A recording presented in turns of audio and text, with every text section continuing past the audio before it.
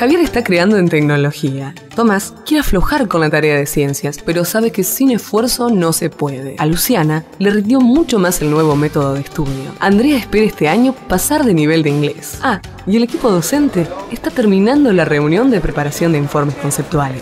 Todos saben que el futuro es hoy. Crear. Inscripción abierta, Eje B3 y Polimodal, San Juan y Cadario, 425-1860.